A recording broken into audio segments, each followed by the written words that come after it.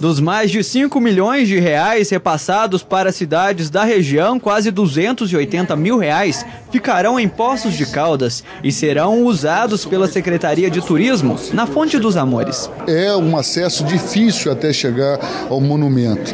Então nós vamos priorizar a acessibilidade e vamos mexer no paisagismo, adequar melhor o paisagismo e vamos fazer uma reforma nos banheiros, nos sanitários. Para o prefeito, o encontro com outros chefes do executivo pode também contribuir para o desenvolvimento da região. O desenvolvimento regional ele é importante porque ele garante aos moradores das demais cidades também condições para que cada um faça o seu trabalho, para que cada um tenha uma boa qualidade de vida e aí sim a gente tem realmente na própria região toda uma uma força maior para todos os municípios. Além de Postos, outras 14 cidades assinaram os repasses que vieram por parte do governo federal.